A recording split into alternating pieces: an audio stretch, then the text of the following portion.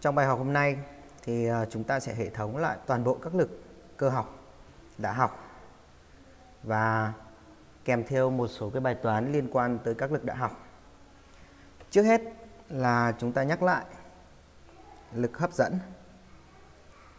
Lực hấp dẫn là nói về lực hút giữa hai chất điểm có khối lượng M1 M gì? M2. Và biểu thức của nó là F hấp dẫn giữa hai chất điểm M1 M2 là F hấp dẫn bằng F12 bằng F21 và nó chính là bằng G M1 M2 trên R bình phương. Trong đó R được hiểu là gì? R được hiểu chính là khoảng cách giữa hai chất gì? Chất điểm. Và chúng ta có thể mô tả được F hấp dẫn như sau. Đây là chất điểm M1. Chất điểm uh, M2. Nhớ rằng là lực hấp dẫn thì có phương nằm trên đường nối hai chất điểm. Tức là nó sẽ nằm trên đường này. Và bởi vì nó là lực hút, cho nên nó phải có xu thế là kéo các vật trở lại gần gì? Gần nhau. Lực hấp dẫn do chất điểm M1 tác dụng lên chất điểm M2 thì người ta ký hiệu là F12. Còn lực hấp dẫn do chất điểm M2 tác dụng lên chất điểm M1 thì ký hiệu là F12. 21 và theo định luật 3 Newton thì à, F12 luôn bằng F21 về mặt độ lớn. R chính là gì? Khoảng cách giữa hai chất điểm. Đây là R. Và khi vận dụng công thức này thì nhớ rằng là G đã là hàng số M1, M2 thì xác định bằng kg. Và R là xác định bằng mét. Khi đó thì chúng ta có F hấp dẫn giữa chất điểm M1 và M2 là xác định bằng Newton. Thế thì ờ, cái bài toán mà hay gặp nhất về lực hấp dẫn chính là tìm lực hấp dẫn giữa hai chất điểm giữa hai hành tinh à, xem như chất điểm. Tức là chúng ta tính trực tiếp từ định luật. À, và một cái bài toán hay gặp nữa đó là bài toán liên quan tới trường hợp riêng của lực hấp dẫn. Thì nhớ rằng là trọng lực P bằng M nhân G là trường hợp riêng của lực hấp dẫn. Nhớ rằng nó là trường hợp riêng của lực hấp dẫn. Nó là trường hợp riêng. Tức là gì? Bản thân cái trọng lực này này, nó chính là lực hút của trái đất, tác dụng lên cái gì? Vật mờ thì gọi là trọng lực của vật vật mờ. Đúng không? Chúng ta có thể mô tả như sau này. Đây là trái đất. Bán kính là R. Khối lượng là gì? M lớn. Một vật. M đây. Đây là vật M. Thế thì uh, lực hấp dẫn giữa trái đất và M đây là ký hiệu là F hấp dẫn. Đúng không? Nó là lực hút. Và trọng lực là trường hợp riêng của lực hấp dẫn có nghĩa là P này với M là một. P và M là một. À, P và F hấp dẫn là một. Như vậy là thông qua cái trọng lực là trường hợp riêng của lực hấp dẫn thì nó lại nảy sinh ra cái bài toán đấy là xác định gia tốc G ở độ cao gì? Cao H. Ở độ cao H so với mặt đất đây. Đây là H. Thì cả cái khoảng này này chính là gì R nhỏ. Như vậy áp dụng định luật. Vạn vật hấp dẫn giữa M và trái đất thì chúng ta sẽ có F hấp dẫn chính là bằng G.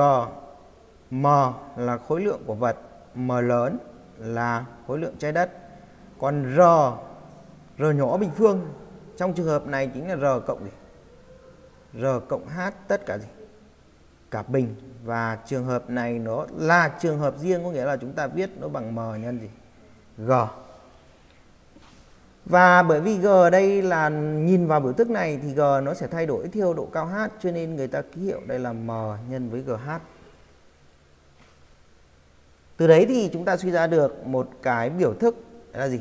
Biểu thức gia tốc rơi tự do ở độ cao h gh bằng g này chúng ta rút gọn cái gì đi m đi đó là g m trên r cộng H tất cả gì? Bình. Đúng không? Thế thì từ nhận xét trọng lực là trường hợp riêng của lực hấp dẫn. Nó dẫn tới cái bài toán là tìm gia tốc rơi tự do ở các độ cao khác khác nhau so với mặt mặt đất. Đúng không? Thì từ công thức này chúng ta mới suy ra được G0. G0 tức là G ở mặt đất, chúng ta ký hiệu là GD hoặc là G0 thì ứng với H gần bằng 0. Đó ở những vị trí gần mặt đất thì chúng ta xem như H bằng 0 thì nó sẽ bằng G nhân với M trên R bình lấy H bằng, không 0. Được chưa? Đấy, biểu thức đầu tiên là cái loại loại toán mà liên quan tới xác định gia tốc rơi tự do ở độ cao h. Và chính vì g đất bằng cái đại lượng này, gh bằng đại lượng này thì chúng ta suy ra được một cái biểu thức đấy là gh trên g đất.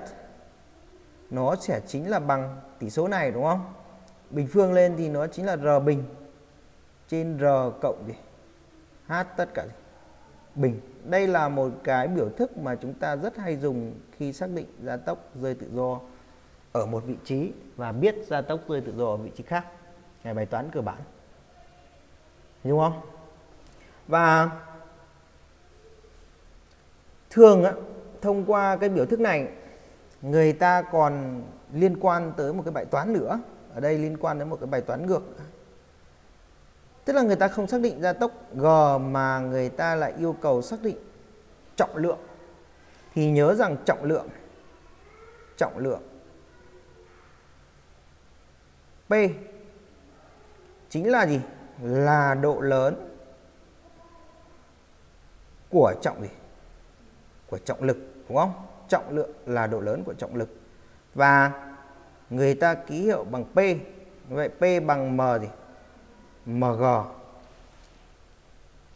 đúng không nhưng mà vì G thay đổi theo độ cao H cho nên người ta còn ký hiệu là P ở độ cao H sẽ bằng M nhân G gì GH là một cách tổng quát nhất à, điều đó có nghĩa rằng là trọng lượng của chúng ta ở các vị trí khác nhau là cũng khác gì?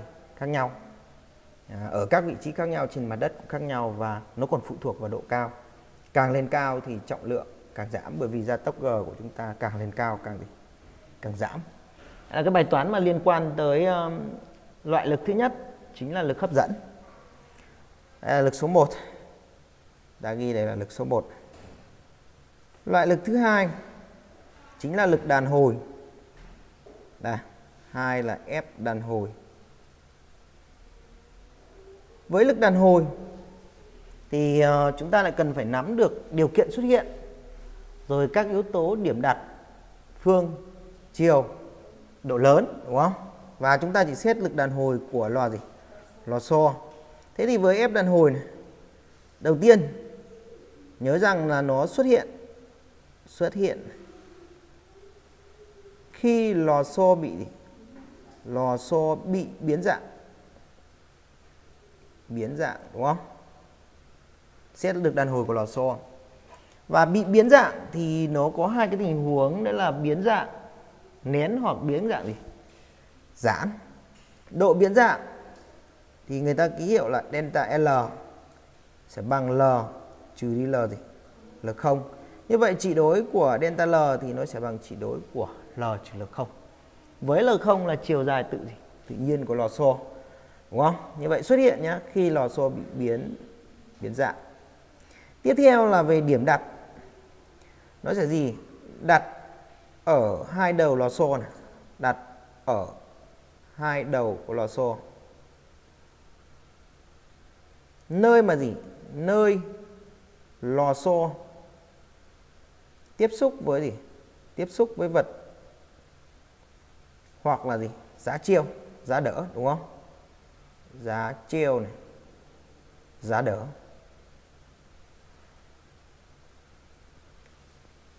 Được chưa?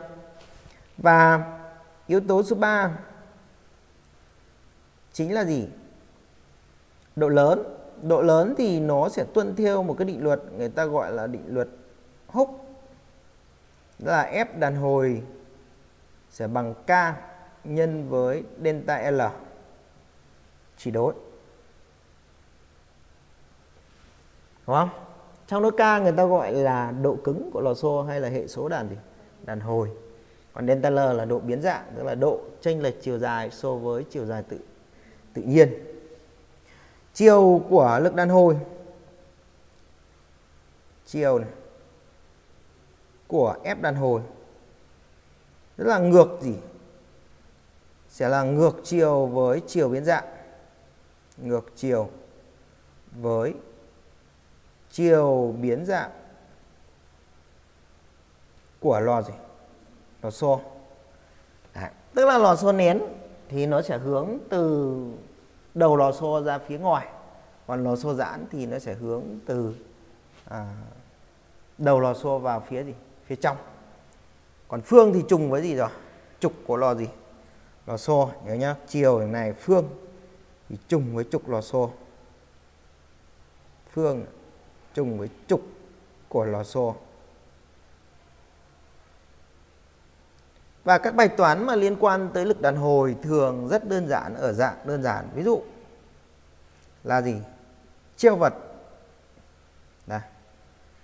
bài toán hay gặp nhất là chiêu vật và vật ở trạng thái cân gì? Cân bằng chiêu vật. Trong trường hợp này thì lò xo của chúng ta bị giãn này. và độ giãn chính là delta L này. đúng không? Và bằng delta L thì chính là bằng L, trừ đi L gì? L không. Đấy, độ giãn. Trong trường hợp này là nó là độ giãn. Và áp dụng điều kiện cân bằng cái bài toán này thì chúng ta tìm được ngay cái biểu thức mà áp dụng với bài toán này đây là ép đàn hồi, điểm đạt ở đầu này. trường hợp này lò xo giãn thì nó hướng từ đầu lò xo vào phía trong.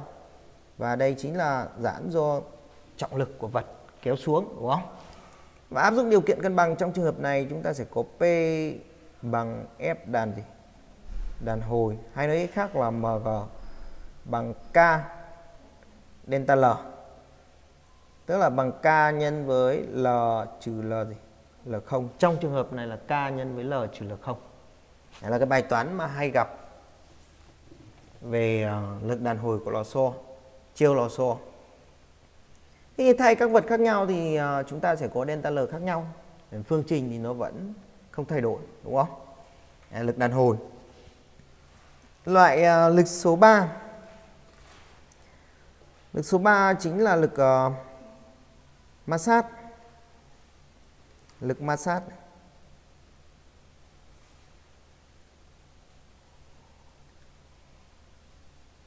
và chúng ta có tới 3 loại ma sát đấy là ma sát trượt ma sát nghĩ và ma sát gì?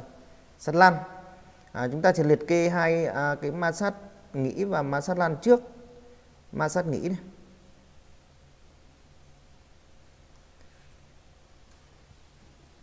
Thế thì ma sát nghĩ là nó xuất hiện khi nào? Nhớ rằng là nó sẽ xuất hiện xuất hiện khi có gì? Có ngoại lực tác dụng lên vật có ngoại lực tác dụng lên vật mà theo phương gì theo phương song song với gì song song với mặt tiếp xúc. Song song với mặt tiếp xúc. Nhưng nhớ rằng cái lực này là chưa đủ gì. Chưa đủ lớn. Lực này chưa đủ lớn, nhưng chưa đủ lớn này. Chưa đủ lớn. Để làm vật chuyển gì? Làm vật chuyển động. Đấy. Nhớ rằng là với ma sát nghĩ thì vật chưa chuyển động. Điển hình của cái bài toán này chính là cái bài toán mà đặt vật trên một cái uh, mặt phẳng nghiêng. Cái này, nhưng mà vật không trượt. Vật không trượt. Đấy là vật không trượt nhé. Đây là vị góc alpha m. Thế thì độ lớn của cái lực ma sát nghĩ này bằng cái gì? Nhớ rằng là ma sát nghĩ này là bằng thành phần tiếp tuyến về mặt độ lớn. F ma sát nghĩ thì sẽ bằng Fx. Với Fx là thành phần gì? Thành phần theo phương tiếp gì? Thành phần ngoại lực. Ngoại lực. Theo phương tiếp gì? Tiếp tuyến. Với mặt tiếp xúc. Ví dụ như trong trường hợp này đương nhiên là nó sẽ chịu tác dụng của trọng lực P. Và chúng ta xét nó chưa chuyển động. Thì ép ma sát nghĩ của chúng ta này thành phần P một thành phần của P kéo xuống ép ma sát nghĩ nó sẽ xuất hiện. Và nó ngược chiều với thành phần uh, tiếp tuyến có xu hướng làm vật chuyển động. Ở đây là ép ma sát nghĩ. Trong trường hợp này chúng ta sẽ có ép ma sát nghĩ này. Ma sát nghĩ chính là bằng P nhân với sin của góc alpha. Dạ, sin alpha. Nhớ rằng nó bằng thành phần à, theo phương tiếp tuyến và nó ngược gì? Ngược chiều. Thì ma sát nghĩ thì ờ, chúng ta cũng ít gặp thôi. Ma sát lăn ma sát số 2 là ma sát lăn ma sát lăn cái ma sát lăn này á thì nó lại xuất hiện khi một vật lăn trên một bề mặt tiếp gì? tiếp xúc với vật khác. Nhớ nhá, xuất hiện khi vật lăn trên bề mặt tiếp xúc, xuất hiện. Khi vật lăn trên bề mặt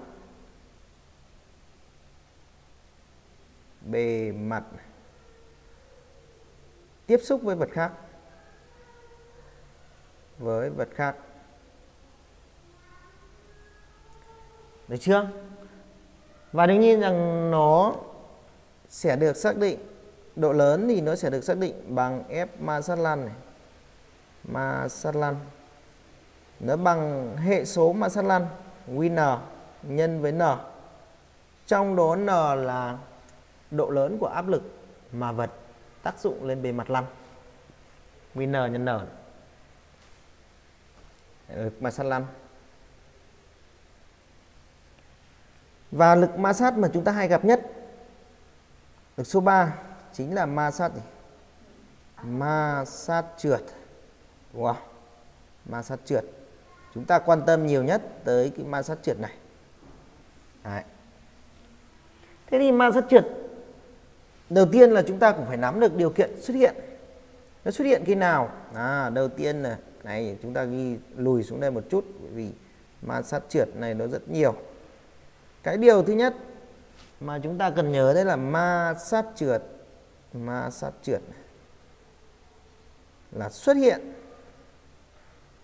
khi vật trượt trên bề mặt, trượt trên bề mặt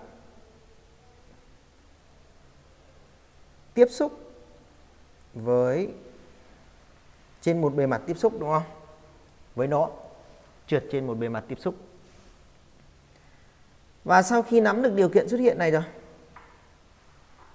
điều kiện xuất hiện khi vật chuyên trượt trên một bề mặt tiếp xúc, thì chúng ta cũng phải lần lượt xác định được các yếu tố, đúng không? Các yếu tố của lực ma sát trượt. Đầu tiên là phương của này, phương và chiều của nó thì nhớ rằng là F ma sát trượt nó sẽ cùng phương ngược chiều với à, vector vận tốc tương đối của vật. Được chưa? Lực ma sát tác dụng lên một vật thì sẽ ngược chiều với vận tốc chuyển động của vật. Và F ma sát trượt của chúng ta là có giá thuộc F ma sát trượt thuộc mặt tiếp gì? Mặt tiếp xúc. Giá thuộc mặt tiếp xúc. Chiều thì ngược chiều với chiều vận tốc của vật. Đúng không? Còn độ lớn F ma sát trượt F ma sát trượt sẽ bằng hệ số ma sát trượt N nhân với N. Trong đó N chính là độ lớn của áp lực. Đúng không? Độ lớn của áp lực tác dụng lên à, bề mặt tiếp xúc. Và QT này là phụ thuộc, là hệ số ma sát trượt. Nhớ rằng con QT này nó sẽ phụ thuộc vào tình trạng hai mặt tiếp xúc. Tình trạng hai mặt hai bề mặt tiếp xúc. Ngoài ra thì nó còn phụ thuộc vào à, chất liệu của vật. À, tình trạng hai mặt tiếp xúc và phụ thuộc vào chất liệu tạo nên vật đúng không? Chất liệu này. Tình trạng ờ, bề mặt tiếp xúc có nghĩa là gì? Độ nhám à, nó độ nhăn nheo nó như thế nào này? Nó khô hay nó gì? Nó ướt? Thấy chưa. Còn phụ thuộc vào chất liệu có nghĩa là vật của chúng ta hai bề mặt ví dụ như hai bề mặt bằng sắt mà tiếp xúc với nhau thì nó sẽ khác với hai bề mặt gỗ tiếp xúc với nhau hệ số ma sát. À, đây cái hệ số ma sát trượt và nhớ rằng là cái này nó sẽ một số cái điểm mà dễ nhầm đó là ép ma sát trượt này, này. Nó sẽ không phụ thuộc không phụ thuộc diện tích tiếp gì? Tiếp xúc, không phụ thuộc diện tích tiếp xúc. Là một cái điều mà chúng ta rất dễ nhầm là ép mà sát trượt, không phụ thuộc diện tích tiếp xúc. Còn n này là gì? N này bản thân nó chính là độ lớn của áp gì? Áp lực lên mặt tiếp xúc. Đấy, độ lớn của áp lực lên mặt tiếp xúc thế thì một số cái tình huống mà chúng ta hay gặp lực ma sát trượt này nhất. À, bây giờ chúng ta sẽ liệt kê một loạt các tình huống lực ma sát trượt được xác định như nào. Tình huống thứ nhất là vật chuyển động bình thường theo quán tính trên một cái à, mặt sàn nằm ngang như này. Tức là bản thân nó có vận tốc v à, v không không có lực nào tác dụng um, theo hướng của vận tốc. Đây có trọng lực p. Đây có phản lực n và đây có f ma gì f ma sát trượt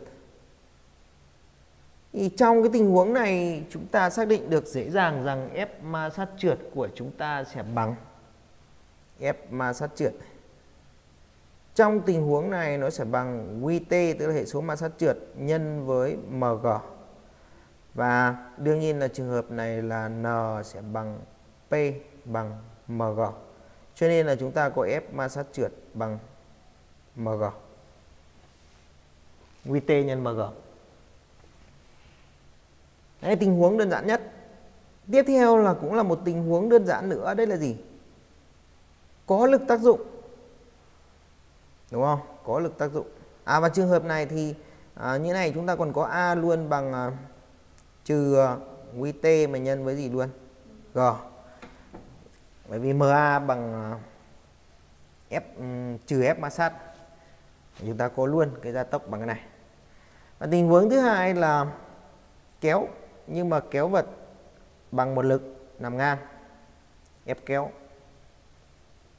Thì vật sẽ chịu tác dụng của bốn lực, trọng lực P, phản lực N và lực ma sát trượt. Ma sát trượt thì với cái tình huống này thì chúng ta vẫn có N bằng gì? N bằng P.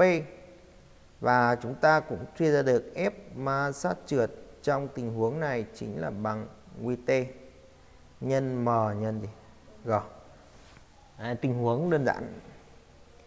Và nếu như viết phương trình định luật 2 Newton cho vật thì chúng ta sẽ có F kéo. Trừ đi F ma sát tức là trừ đi nguy T nhân MG sẽ bằng M nhân gì? M nhân A. Còn tình huống bên này chính là F uh, trừ F ma sát trượt chính là bằng M nhân gì? M nhân A đây là phương trình định luật 2 và chúng ta suy ra được A bằng cái này. Còn trong trường hợp này thì chúng ta sẽ suy ra được uh, A chính là bằng F kéo trừ đi nguy T nhân MG mà trên gì? Trên M. Đấy là trường tình huống thứ hai. Đơn giản thứ hai.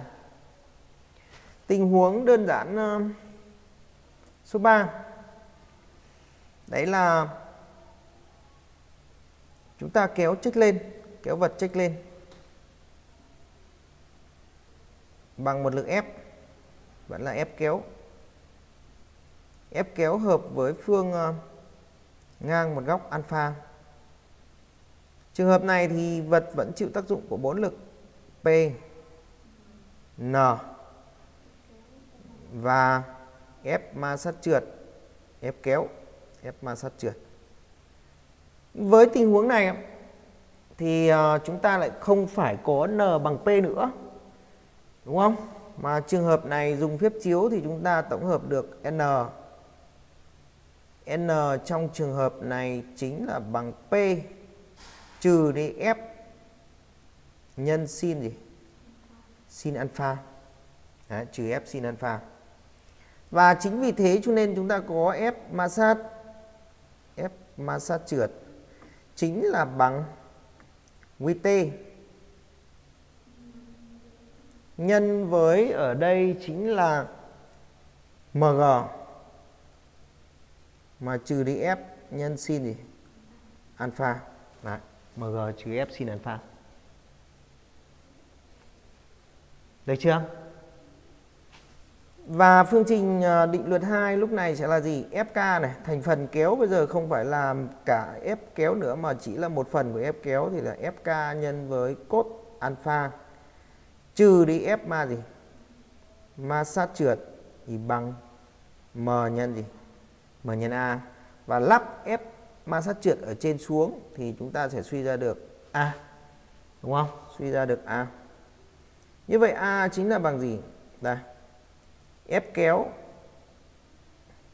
cốt alpha này trừ đi F ma sát tức là trừ đi QT nhân MG trừ đi F kéo sin gì sin alpha đây là F kéo sin alpha mà trên gì M đúng không gia tốc thì nó phức tạp hơn rất nhiều à, à, tình huống um, số 3 phức tạp hơn hai tình huống đầu.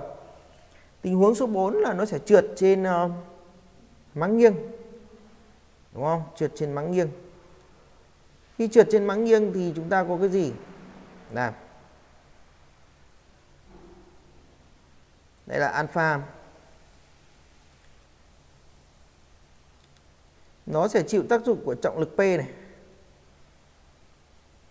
Các cái bài này là chúng ta đang đề cập tới có ma sát, đúng không? đây là N, phản lực N và đây là F, ma sát trượt nếu đề bài mà cho mặt phẳng nghiêng nhẵn hay bề mặt trượt nhẵn thì có nghĩa là không có ma sát đây chúng ta đang xét là có tất cả các tình huống đều có ma sát đây, trượt xuống, đúng không với tình huống này thì chúng ta sẽ có N bằng gì đây là ký hiệu, đây là góc alpha rồi thì chúng ta sẽ có N này, chính là bằng P cos alpha và chúng ta suy ra được F ma sát trượt, chính là bằng nguy T nhân với P cos alpha, tức là MG cos cos alpha.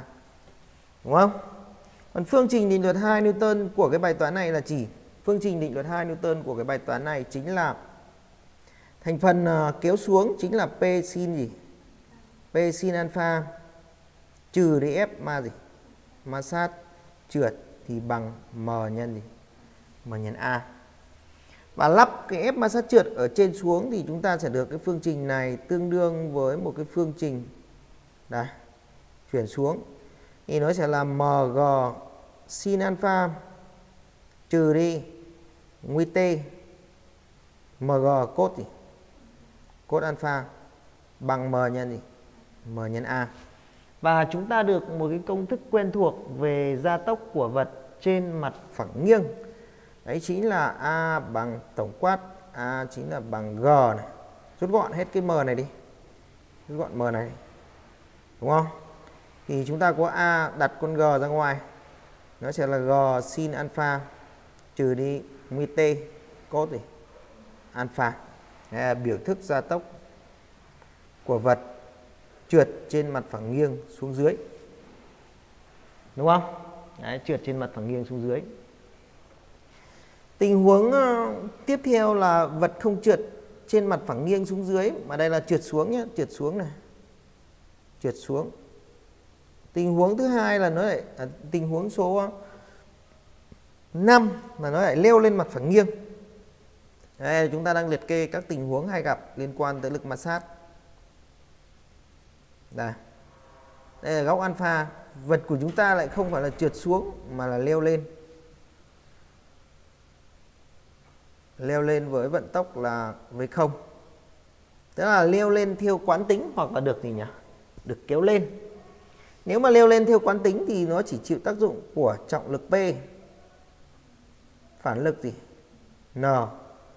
Và bởi vì nó leo lên cho nên lực ma sát trong trường hợp này lại phải kéo gì? Kéo xuống. Ma sát ngược chiều vận tốc. Như vậy đây là F ma sát. F ma sát trượt. Đúng không? F ma sát trượt, hướng xuống. Và với cái tình huống này thì chúng ta lại có cái gì? Thứ nhất là N này vẫn bằng P cos alpha. Tình huống này N vẫn bằng P cos alpha. Và trừ F ma sát trừ F ma sát này, trừ đi P sin alpha. Trường hợp này bằng M nhân gì? M nhân A. Tức là lúc này lực ma sát cản trở chuyển động ngoài ra trọng lực cũng kéo vật xuống tức là làm vật chuyển động chậm dần đúng chưa? Đó được ừ, còn nó leo dốc là leo thiên đà. À, như vậy là chúng ta sẽ suy ra được lắp vào đây chúng ta sẽ suy ra được cái biểu thức. Là trừ f ma sát tức là trừ qt này nhân với n n thì bằng mg cốt alpha. À, trừ đi ờ, mg sin gì? Alpha bằng m nhân gì? M nhân a và như vậy thì chúng ta sẽ suy ra được ngay a của chúng ta trong trường hợp này bằng trừ g nhân với sin alpha cộng với t cos gì? Cos alpha. Này, đây là biểu thức của vật tự trượt lên nhé. Cái này là tự tự trượt lên, tự lên theo quán gì? Quán tính. Và đương nhiên là chúng ta đang chọn chiều dương là chiều chuyển động, cho nên gia tốc nó sẽ bị à, trong trường hợp này, nếu chọn chiều dương là chiều chuyển động, gia tốc nó sẽ hướng ngược xuống lên chậm, nó sẽ bị gì? Âm. Hình dung không? Đấy là cái tình huống số 1 2 3 4 5 một tình huống thứ sáu mà liên quan tới lực ma sát nữa. Đấy là, chúng ta đẩy xuống, chúng ta chỉ xét một số tình huống hay gặp. Chứ còn ờ, không thể xét một cách ờ, tất cả các trường hợp được đấy là trường hợp đẩy ép đẩy Đấy. Và góc này là góc an gì? Alpha bề mặt trượt đây. M. Thế thì trường hợp đẩy này á chúng ta vẫn có các lực tác dụng chỉ bốn lực. P này. N này. Và ép đẩy, ép ma sát trượt. Đấy, F ma sát trượt. Đúng không? Với tình huống này thì chúng ta lại có N. Tất cả các cái trường hợp này chúng ta đều thực hiện bằng phép chiếu đúng không? Ở đây chúng ta chỉ nhắc lại mang tính chất tổng hợp nhắc lại thôi. N trong trường hợp này nó lại là bằng à, P mà cộng với F nhân với sin alpha. F đẩy sin alpha. Nhớ rằng là nếu như mà kéo lên thì chắc chắn rằng là nó sẽ đè xuống mặt sàn một cái lực là bé hơn là đẩy xuống. Đẩy xuống thì nó sẽ bị nén nhiều hơn và nó phản lại lực nặng hơn. Cho nên ở đây là dấu gì? Dấu cộng. Còn tình huống ở đây là gì? Trừ kéo lên là trừ. Có hiểu không? Đây Đấy, ờ, nó bằng uh, P đây bằng mg rồi đó. Như vậy là chúng ta suy ra được F ma sát đúng không? Và phương trình định luật 2 Newton sẽ là F đẩy. Trừ đi F ma gì? Ma sát trượt thì bằng M nhân gì? M nhân A lắp vào thì chúng ta sẽ xây dựng được một cái biểu thức này suy ra được ép đẩy trừ đi QT nhân với ở đây là MG cộng FD sin alpha sẽ bằng M nhân gì? M nhân A. Và chúng ta sẽ rút ra được biểu thức của A đúng không? A sẽ bằng F đẩy. Có thể tóm ra ngoài như thế này. À, chúng ta có F đẩy F đẩy sin rồi. F đẩy này. Mở ngoặc đơn ở đây là một. Trừ đi uh, t nhân với sin gì sin alpha này là ngoài này đúng không? Rồi cộng à, trừ đi uh, t m gì? Mg mà tất cả chia cho m là ra gì? Ra tốc Đấy. như vậy là có rất nhiều tình huống ở đây. À, chỉ là một số cái tình huống mà chúng ta hay gặp thôi. Nguyên tắc là gì? Nguyên tắc muốn tìm lực mã sát thì chúng ta phải biết được áp lực n đúng không áp lực n Đấy. một cái loại lực nữa mà bây giờ chúng ta sẽ nhắc đấy chính là lực hướng uh, hướng tâm. Lực tiếp theo là lực hướng tâm. Số 4 chính là lực hướng tâm. Một loại lực cũng rất hay gặp.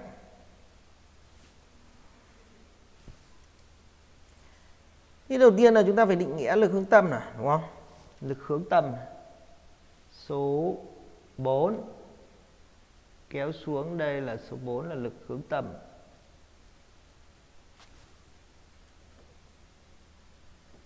Lực hướng tâm.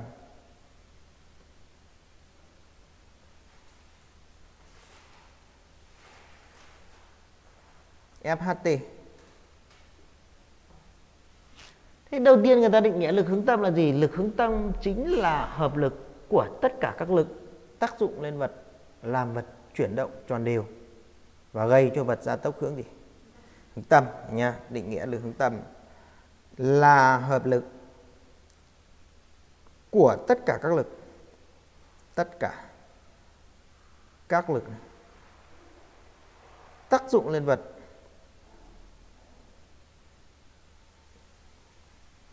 chuyển động tròn đều này và gây cho vật gia tốc. Gây cho vật gia tốc hướng tâm. Đúng không? Và theo định luật 2 Newton thì chúng ta vẫn viết được một cách bình thường. Tức là chúng ta sẽ có F hướng tâm. Chính là bằng M nhân với A hướng gì? Hướng tâm. Này F hướng tâm bằng M nhân A hướng tâm như vậy là từ cái biểu thức này này, thì chúng ta có thể suy ra được là F hướng tâm đương nhiên rằng là sẽ cùng phương, cùng chiều với A hướng gì? Hướng tâm, tức là sẽ luôn trùng với, luôn trùng với bán gì? Bán kính này. Rồi là chiều thì hướng vào hướng vào tâm quỹ đạo. Có nghĩa là nó sẽ vuông góc với gì? Vuông góc với vectơ vận gì? vận tốc, chiều hướng của tâm quỹ đạo, vuông góc với vectơ vận tốc. Thế thì cái này là, đấy là về mặt định nghĩa. Bây giờ chúng ta sẽ xét một số cái tình huống là gì? Nhớ rằng là ép hướng tâm chính là hợp gì nhỉ? Hợp lực này. đúng không? Hợp lực. Bây giờ chúng ta sẽ xét một số cái tình huống tình huống ờ, đầu tiên mà cái tình huống chúng ta, chính là cái tình huống mà chúng ta gặp trong ờ, sách ờ, giáo khoa tức là tính lực nén rồi là tính lực đè của ô tô ở đỉnh một cầu mà có dạng là cung gì? Cung tròn, vòng lên hoặc vòng gì? Vòng xuống, ở đáy hoặc ở đỉnh. Thế bây giờ chúng ta xét một số cái tình huống đặc biệt này tình huống thứ nhất là di chuyển trên ờ, mặt cầu này, võng lên này. đây.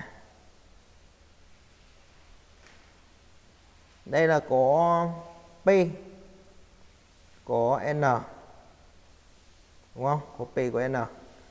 Và đây chính là tâm, O, bán kính R.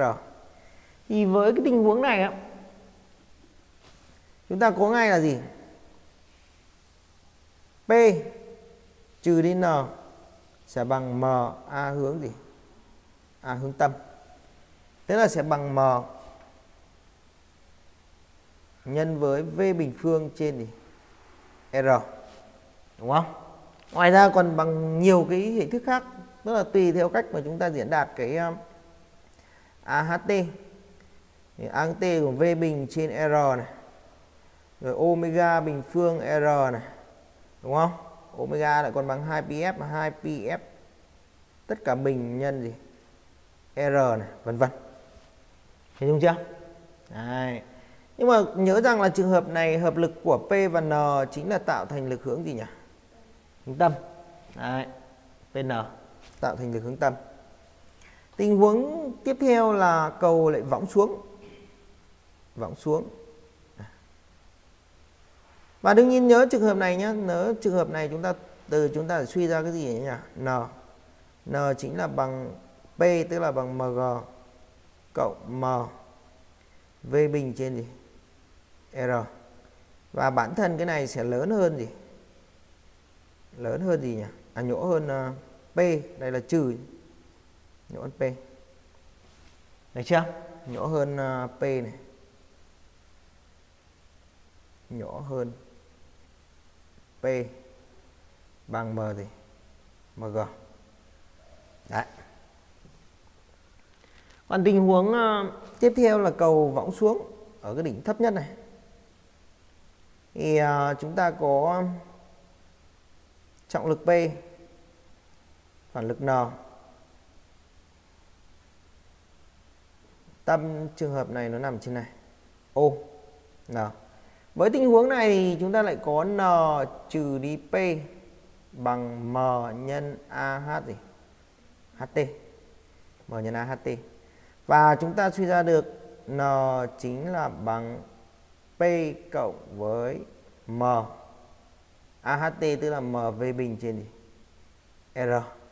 Và cái trường hợp này thì lại lớn hơn gì? Lớn hơn P. Đúng không? Đây chính là lý do mà người ta làm ờ, cầu võng lên chứ không bao giờ làm cầu võng xuống. Lý do là bởi vì làm cầu võng xuống thì áp lực đè lên cầu sẽ là lớn hơn trọng lực, trọng lượng. Còn nếu là làm võng lên thì sẽ giảm được áp lực đè lên cầu. Còn khi đi trên mặt phẳng ngang thì áp lực sẽ bằng à, trọng lượng, tức là N bằng gì? P bằng M, MG. Đấy, tình huống um, hai tình huống này. tình huống tiếp theo này có thể gặp. Đấy là người ta lại không tìm ở gì? Không tìm ở đỉnh mà người ta lại tìm ở một góc lệch nào đấy. Này ví dụ ở đây. Đây thì chỗ này n bằng cái gì? Đây là o. Trong trường hợp này ấy, thì đây là n vẫn là n n thì luôn vuông gì rồi? Vuông góc này n đây là trọng lực uh, P. Đây là góc alpha đi. Thì khi mà ở vị trí này thì chúng ta sẽ có cái gì? N bằng cái gì? Đây lại là p này. Với tình huống này là p.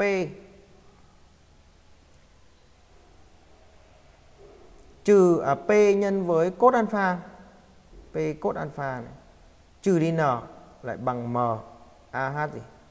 Ht Nhớ rằng là chiều dương luôn hướng vào tâm của quỹ đạo cho nên là chúng ta bao giờ chúng ta cũng vector nào hướng theo hướng vào ừ, tâm của quỹ đạo thì chúng ta sẽ chiếu cái thành phần lấy dấu dương. Được chưa?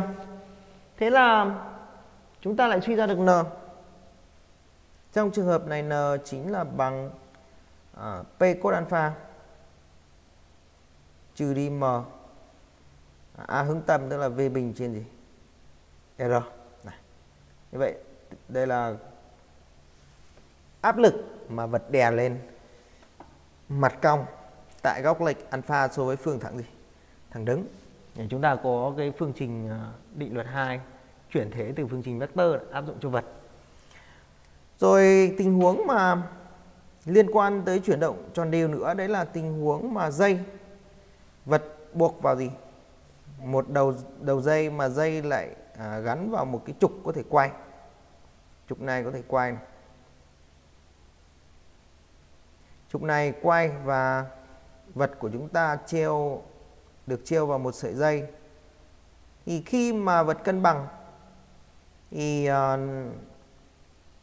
khi mà dây lệch uh, một góc cố định so với phương thẳng đứng á, đây quay với tốc độ góc omega này. Thấy chưa? Thì vật của chúng ta nó sẽ giống như cả dây cả vật nó sẽ tạo giống như một cái hình à, hình nón. Hình nón. Đây là tâm à, vật của chúng ta sẽ quay quay tròn. Những cái vành dưới của cái nón hiểu không? Đấy. Thì trường hợp này chúng ta lại có t này. Đây là trọng à, lực căng t và trọng lực gì? P với cái bài toán này thì chúng ta lại có p cộng t bằng m nhân a hướng gì? Hướng tâm. Và khi mà chiếu lên á, thì chúng ta nhớ rằng là đây đây là tâm này. Đây đây là bán kính r. Đây chiều dài là l đây thì với bài toán này chúng ta lại có một cái loạt loạt như sau này. Xây dựng được một loạt các dữ kiện như sau này. Thứ nhất đây là góc alpha đúng không? Thì chiếu xuống uh, chỗ này đây là sẽ là uh, góc này alpha này. T sin alpha. Uh, góc đối này t sin alpha này, sẽ bằng m aht đây phương trình thứ nhất. Các phương trình có thể suy ra được cái này. Và nhớ rằng là lúc này là lực hướng tâm sẽ là một cạnh góc vuông còn lực à, trọng lực P cũng là một cạnh góc vuông. Và chúng ta có T là cạnh huyền. Đây, có thể dựng lại như sau này. Cần dễ nhìn. Đây chính là P này. Đây là lực căng T này. T. Và đây chính là ép hướng gì? ép hướng tâm này và theo quy tắc cộng vectơ này t này cộng p này bằng ép hướng gì ép hướng tâm tam giác này sẽ là tam giác vuông tại đây. Chính vì thế mà góc này là alpha này. Chính vì thế mà chúng ta mới có ép hướng tâm bằng cạnh huyền nhân với sin góc gì? Góc đối này. Rồi ngoài ra chúng ta còn có thể viết là t bình sẽ bằng f hướng tâm bình phương cộng p bình. Đúng không? Hình dung chưa? Rồi có thể tính là tăng alpha này. Rất nhiều thứ có thể suy ra được cái này. Tăng alpha chính là bằng gì? Đối tức là f hướng tâm. Mà chia cho kề tức là gì? P. Đúng không? Có rất nhiều. Rất nhiều cái uh, có thể suy ra được. Ngoài ra còn có thể từ hình này có thể còn suy ra được r này. Bán kính quỷ uh, bán kính quỷ đạo. Chính là bằng L nhân với sin gì? Sin alpha. Thì tổ hợp các cái này tùy theo yêu cầu bài toán chúng ta có thể suy ra tính được nói tóm lại là ba vectơ này sẽ tạo thành một tam giác vuông được chưa Đấy là cái bài toán mà quay này. rồi cái bài toán mà liên quan tới um, lực hướng tâm nữa là hay gặp đấy lại nó quay nó được đặt trên một cái đĩa và đĩa này có thể uh, đây. Tức là lực ma sát nghĩ đóng vai trò là lực hướng gì? Hướng tâm này. Bài toán này là bài toán sách giáo khoa này. À, quay cho một cái đĩa. Cái đĩa này là quay quay quay tròn. Cả cái trục cả cái đĩa quay luôn. Và vật của chúng ta là đặt trên trên đĩa này. Thì uh, nó sẽ chịu tác dụng của P này, của N này và của F ma sát gì F ma sát nghĩ này F ma sát nghĩ đây là tâm O thì với cái bài toán này thì chúng ta lại có cái gì? F ma sát nghĩ trùng luôn với gì? F ma sát nghĩ chính là trùng luôn với F hướng gì? Hướng tâm. Vì cặp PN là triệt gì? Triệt tiêu đúng không? Đấy, có rất nhiều tình huống. Rồi tình huống là nó lại quay. Có thể xét cái tình huống mà nó lại gắn vào trục uh, trục lò xo à một lò xo chứ không phải là là dây nữa. Đây là một cái uh, trục này. và trên này là cố định một cái vật này. Trục này quay tít mù này. Tốc độ góc omega. Được chưa? Quay với góc tốc độ góc omega thì đây là lực đàn hồi đấy nhá trục này quay này. quay thì nó sẽ là có xu thế là làm văng vật ra. Văng tức là sẽ làm giãn cái lò xo ra. Đúng chưa? Thì lúc này lực đàn hồi sẽ kéo vào này ép đàn hồi. Ép đàn hồi này. Và đây là trọng lực P nó đè lên cái uh, trục xuyên qua lò xo rồi. Đây là N.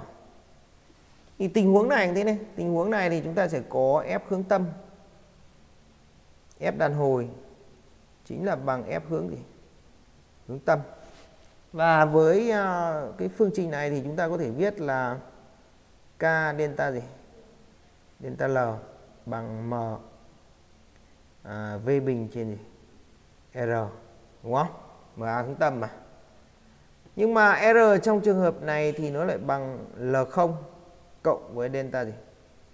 Delta L. Đấy là một cái tổ hợp mà chúng ta có thể à, thu nhận được khi mà một lò xo quay quanh à, một trục như này một hệ trục như này. Được chưa?